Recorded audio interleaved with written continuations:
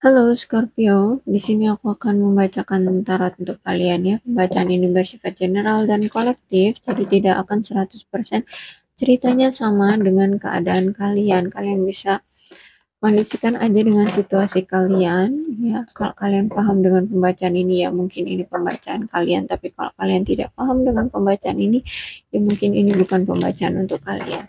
Jadi santai aja. Kemudian uh, aku akan mengambil satu oracle ya untuk acuan dalam pembacaan ini temanya tentang apa gitu ya.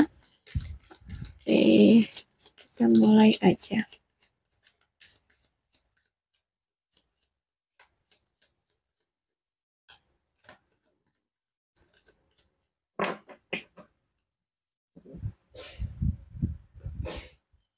Give your relationship a change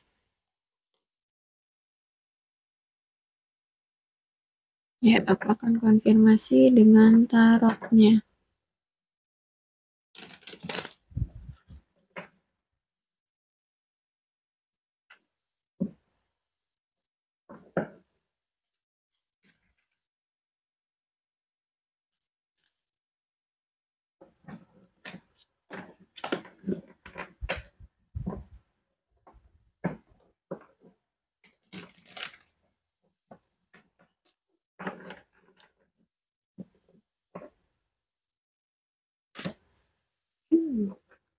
Terlalu banyak ya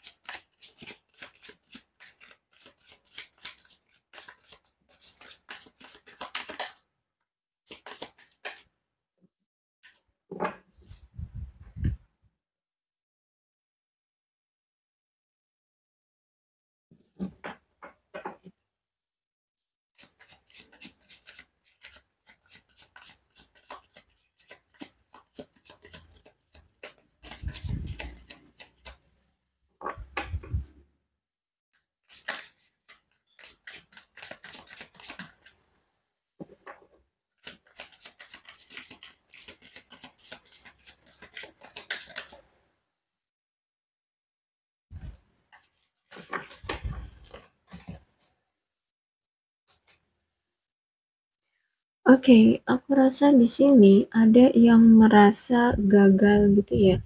Gagal. Uh, kenapa? Karena di sini ada seseorang dia, entah itu kalian berdua ataupun di salah satu antara pasangan ya. Di antara kalian berdua yang di sini memiliki otoritas lebih apa ya dominan gitu. Jadi kalian ingin me, me apa membuat pasangan kalian itu menuruti kemauan kalian gitu ya. Intinya kalian lebih mendominasi gitu. Atau di, ada di antara kalian yang lebih mendominasi pasangan kalian di sini. Sehingganya uh, kalian di sini merasa ya apa ya tidak seimbang gitu. Uh, bahkan dalam hubungan kalian pun mungkin gagal untuk dipertahankan seperti itu. Dan aku rasa mungkin di sini kalian ada yang sudah menjanda gitu ya atau mungkin di sini kalian uh, mungkin uh, sulit memiliki anak seperti itu ya. Nah, jadi intinya banyaklah kesedihan dalam hubungan kalian ini. Oke okay, kalian situasikan aja kondisinya dengan kalian ya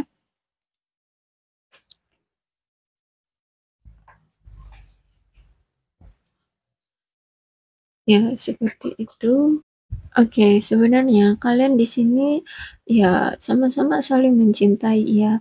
Kalian ingin ingin memiliki hubungan yang stabil, ingin memiliki uh, apa ya romansa yang yang bahagia gitu ya. Kalian ingin ya kehidupan percintaan kalian tuh selalu sinkron, selalu apa ya penuh dengan kasih sayang. Banyak yang kalian uh, inginkan banyak yang kalian pikirkan dari hubungan ini yang apa ya yang ingin kalian aplikasikan yang ingin kalian uh, apa realisasikan ya dalam hubungan ini. Tapi karena di sini ada seseorang yang terlalu mendominasi hubungan sehingganya uh, hubungan ini tuh kayak ya bukan sebuah hubungan tapi kayak apa ya ya hanya terpaksa mengikuti orang yang kalian cintai. Seperti itu aja. Bukan menjalin hubungan antara dua belah pihak ya. Keinginan dari kedua belah pihaknya gitu. Aku melihatnya seperti itu di sini. Dan uh, oke. Okay. kalau kalian memang ingin uh, memiliki hubungan yang baik yang apa normal eh yang bahagia ya sorry yang bahagia yang selaras gitu ya.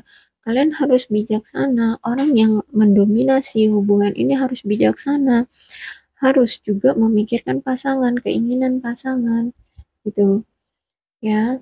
Dan uh, kalian juga di sini harus ada penegasan. Orang yang lebih di apa diatur oleh pasangan kalian tuh kalian harus lebih untuk uh, tegas kepada dia. Apalagi kalau kamu laki-laki di sini ya.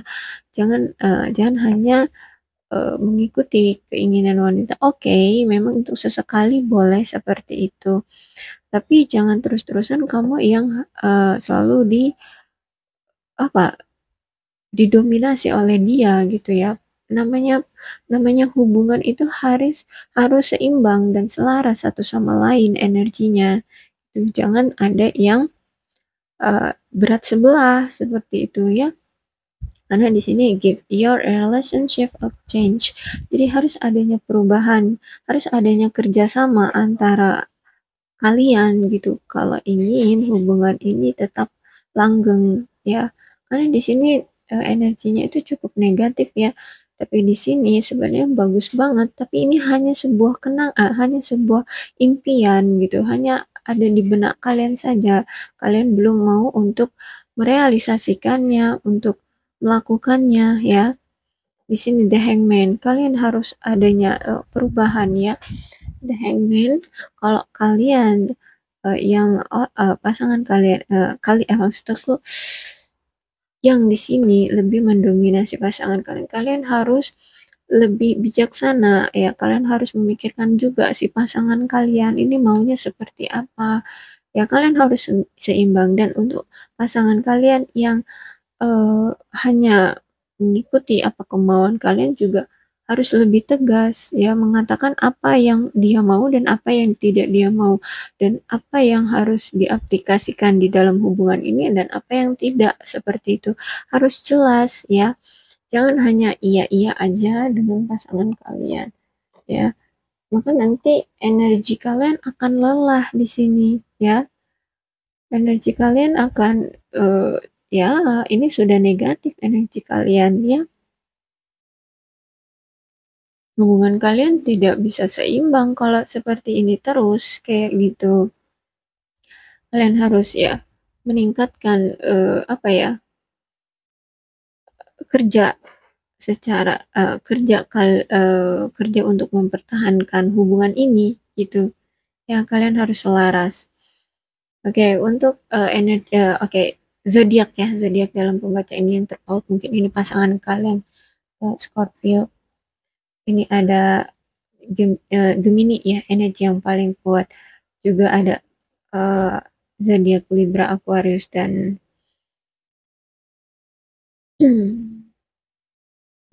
dan Gemini ya. Aquarius Libra dan Gemini sorry. Aquarius Libra dan Gemini. Kemudian ada Cancer Scorpio dan Pisces. Ya aku rasa cuman itu energi dari zodiak yang terbaca di sini tapi tidak menutup kemungkinan energi dari zodiak lain pun uh, bisa resonate ya Oke, sekian dulu pembacaan aku untuk kamu. Jadi intinya kalian harus bisa bekerja sama untuk membangun hubungan ini lebih harmonis dan romantis ya. Salam sehat untuk kalian semua dan bye-bye.